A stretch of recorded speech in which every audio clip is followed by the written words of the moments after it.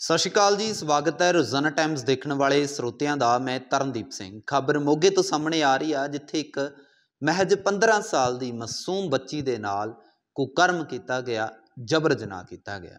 ਦਰਅਸਲ ਮੋਗੇ ਦੇ ਵਿੱਚ ਇਹ ਜਿਹੜੀ ਵੱਡੀ ਖਬਰ ਸਾਹਮਣੇ ਆ ਰਹੀ ਜਿੱਥੇ ਇੱਕ ਨਾਬਾਲਗ ਬੱਚੀ ਜਿਸ ਦੀ ਉਮਰ ਮਹਿਜ 15 ਸਾਲ ਹੈ ਉਸ ਦੇ ਨਾਲ ਜਬਰ ਜਨਾਹ ਕੀਤਾ ਗਿਆ ਉਸ ਦਾ ਉਸ ਦੇ ਨਾਲ ਬਲਾਤਕਾਰ ਕੀਤਾ ਗਿਆ। ਇਸ ਬਾਰੇ ਉਸ ਲੜਕੀ ਨੇ ਆਪਣੀ ਚਾਚੀ ਨੂੰ ਦੱਸਿਆ। ਸਾਡੇ ਕੋਲੇ ਲੇਟ ਨਾਈਟ ਇਨਫੋਰਮੇਸ਼ਨ ਆਈ ਸੀ, ਜਿਹੜੀ ਪੀੜਤ ਲੜਕੀ ਹੈ ਉਹਦੀ ਚਾਚੀ ਜੀ ਵੱਲੋਂ।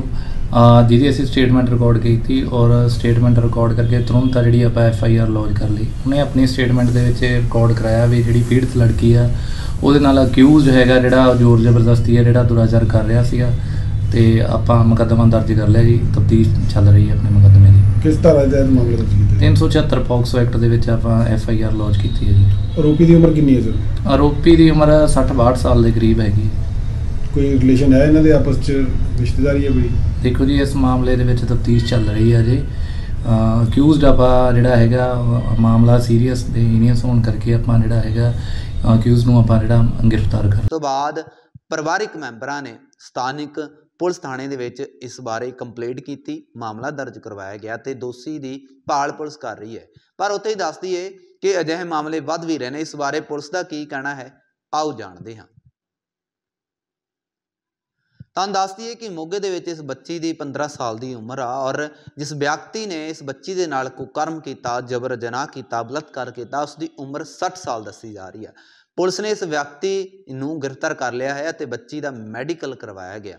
ਔਰ ਜਿਸ ਤੋਂ ਬਾਅਦ ਇਸ ਆਰੋਪੀ ਨੂੰ ਗ੍ਰਿਫਤਾਰ ਕਰਕੇ ਹੁਣ ਕੋਰਟ ਦੇ ਵਿੱਚ ਇਸ ਨੂੰ ਪੇਸ਼ ਕੀਤਾ ਜਾਵੇਗਾ ਤੇ ਪੁਲਿਸ ਤੋਂ ਰਿਮਾਂਡ ਲਈ ਜਾਵੇਗੀ। ਔਰ ਪੁਲਿਸ ਦਾ ਇਹ ਵੀ ਕਹਿਣਾ ਹੈ ਕਿ ਇਸ ਵਿਅਕਤੀ ਨੂੰ ਸਖਤ ਸਜ਼ਾ ਦਿੱਤੀ। ਸਤਿ ਸ਼੍ਰੀ ਅਕਾਲ ਜੀ, ਸਵਾਗਤ ਹੈ ਰੋਜ਼ਾਨਾ ਟਾਈਮਸ ਦੇਖਣ ਵਾਲੇ ਸਰੋਤਿਆਂ ਦਾ। ਮੈਂ ਤਰਨਦੀਪ ਸਿੰਘ। ਖਬਰ ਮੋਗੇ ਤੋਂ ਸਾਹਮਣੇ ਆ ਰਹੀ ਆ, ਜਿੱਥੇ ਇੱਕ ਮਹਿਜ 15 ਸਾਲ ਦੀ ਮਾਸੂਮ ਬੱਚੀ ਦੇ ਨਾਲ ਕੁਕਰਮ ਕੀਤਾ ਗਿਆ, ਜਬਰ ਜਨਾਹ ਕੀਤਾ ਗਿਆ।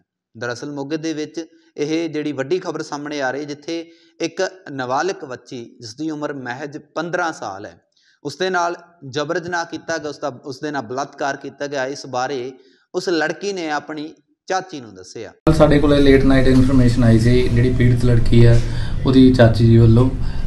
ਜਿਹਦੀ ਅਸੀਂ ਸਟੇਟਮੈਂਟ ਰਿਕਾਰਡ ਕੀਤੀ ਔਰ ਸਟੇਟਮੈਂਟ ਰਿਕਾਰਡ ਕਰਕੇ ਤੁਰੰਤ ਆ ਜਿਹੜੀ ਆਪਾਂ ਐਫ ਆਈ ਆਰ ਲੌਂਚ ਕਰ ਲਈ। ਉਹਨੇ ਆਪਣੀ ਸਟੇਟਮੈਂਟ ਦੇ ਵਿੱਚ ਰਿਕਾਰਡ ਕਰਾਇਆ ਵੀ ਜਿਹੜੀ ਪੀੜਤ ਲੜਕੀ ਆ ਉਹਦੇ ਨਾਲ ਅਕਿਊਜ਼ਡ ਹੈਗਾ ਜਿਹੜਾ ਜ਼ੋਰ ਜ਼ਬਰਦਸਤੀ ਹੈ ਜਿਹੜਾ ਦੁਰਾਚਾਰ ਕਰ ਰਿਹਾ ਸੀਗਾ। ਤੇ ਆਪਾਂ ਮੁਕੱਦਮਾ ਦਰਜ ਕਰ ਲਿਆ ਜੀ ਤਫਤੀਸ਼ ਚੱਲ ਰਹੀ ਹੈ ਆਪਣੇ ਮੁਕੱਦਮੇ ਦੀ। ਕਿਸ ਤਰ੍ਹਾਂ ਦਾ ਮਾਮਲਾ ਦਰਜ ਕੀਤਾ? ਹੈ? 376 ਪੌਕਸੋ ਐਕਟ ਦੇ ਵਿੱਚ ਆਪਾਂ ਐਫ ਆਈ ਆਰ ਲੌਂਚ ਕੀਤੀ ਹੈ ਜੀ।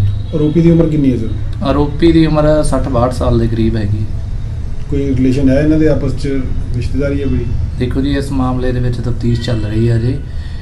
ਅਕਿਊਜ਼ਡ ਆਪਾਂ ਜਿਹੜਾ ਹੈਗਾ ਮਾਮਲਾ ਸੀਰੀਅਸ ਤੇ ਹੀਨੀਅਸ ਹੋਣ ਕਰਕੇ ਆਪਾਂ ਜਿਹੜਾ ਹੈਗਾ ਅਕਿਊਜ਼ ਨੂੰ ਆਪਾਂ ਜਿਹੜਾ ਗ੍ਰਿਫਤਾਰ ਕਰ ਤੋਂ ਬਾਅਦ ਪਰਿਵਾਰਿਕ ਮੈਂਬਰਾਂ ਨੇ ਸਥਾਨਿਕ ਪੁਲਿਸ ਥਾਣੇ ਦੇ ਵਿੱਚ ਇਸ ਬਾਰੇ ਕੰਪਲੇਂਟ ਕੀਤੀ। ਮਾਮਲਾ ਦਰਜ ਕਰਵਾਇਆ ਗਿਆ ਤੇ ਦੋਸ਼ੀ ਦੀ ਭਾਲ ਪੁਲਿਸ ਕਰ ਰਹੀ ਹੈ। ਪਰ ਉੱਥੇ ਹੀ ਦੱਸ ਦਈਏ ਕਿ ਅਜਿਹੇ ਮਾਮਲੇ ਵੱਧ ਵੀ ਰਹੇ ਨੇ। ਇਸ ਬਾਰੇ ਪੁਲਿਸ ਦਾ ਕੀ ਕਹਿਣਾ ਹੈ? ਆਓ ਜਾਣਦੇ ਹਾਂ। ਤਾਂ ਦੱਸ ਦਈਏ ਕਿ ਮੋਗੇ ਦੇ ਵਿੱਚ ਇਸ ਬੱਚੀ ਦੀ 15 ਸਾਲ ਦੀ ਉਮਰ ਆ ਔਰ ਜਿਸ ਵਿਅਕਤੀ ਨੇ ਇਸ ਬੱਚੀ ਦੇ ਨਾਲ ਕੁਕਰਮ ਕੀਤਾ, ਜਬਰ ਜਨਾਹ ਕੀਤਾ, ਬਲਾਤਕਾਰ ਕੀਤਾ ਉਸ ਦੀ ਉਮਰ 60 ਸਾਲ ਦੱਸੀ ਜਾ ਰਹੀ ਹੈ ਪੁਲਿਸ ਨੇ ਇਸ ਵਿਅਕਤੀ ਨੂੰ ਗ੍ਰਿਫਤਾਰ ਕਰ ਲਿਆ ਹੈ ਅਤੇ ਬੱਚੀ ਦਾ ਮੈਡੀਕਲ ਕਰਵਾਇਆ ਗਿਆ। ਔਰ ਜਿਸ ਤੋਂ ਬਾਅਦ ਇਸ ਆਰੋਪੀ ਨੂੰ ਗ੍ਰਿਫਤਾਰ ਕਰਕੇ ਹੁਣ ਕੋਰਟ ਦੇ ਵਿੱਚ ਇਸ ਨੂੰ ਪੇਸ਼ ਕੀਤਾ ਜਾਵੇਗਾ ਤੇ ਪੁਲਿਸ ਤੋਂ ਰਿਮਾਂਡ ਲਈ ਜਾਵੇਗੀ। ਔਰ ਪੁਲਿਸ ਦਾ ਇਹ ਵੀ ਕਹਿਣਾ ਹੈ ਕਿ ਇਸ ਵਿਅਕਤੀ ਨੂੰ ਸਖਤ ਸਜ਼ਾ ਦਿੱਤੀ